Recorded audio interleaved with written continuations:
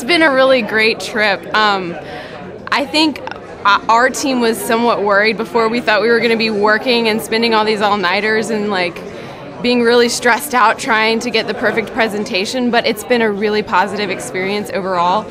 We've had a great time. Yesterday, the scavenger hunt was awesome.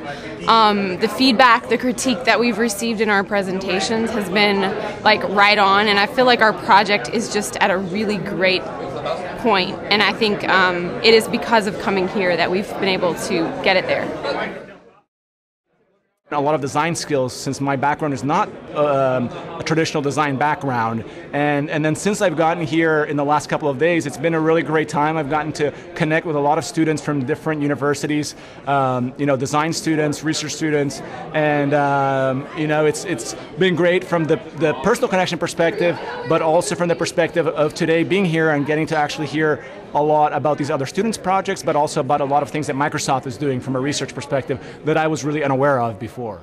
People meeting all the students.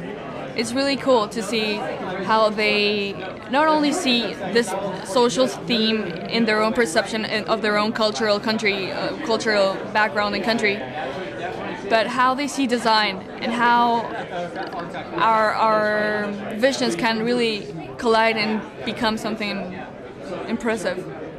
I like good friendship, good design. I like that.